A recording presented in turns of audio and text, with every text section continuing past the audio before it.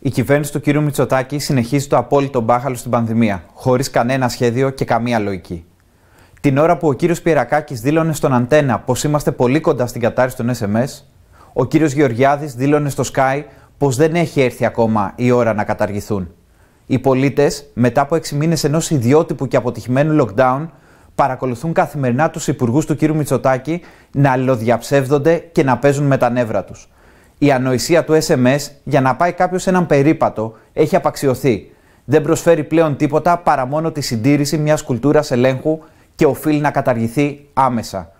Εκτός εάν η κυβέρνηση προσπαθεί να πείσει πως θα το επιτρέψουν τα επιδημιολογικά δεδομένα στις 15 Μαου, που θα καταργηθεί αναγκαστικά λόγω του ανοίγματος του τουρισμού.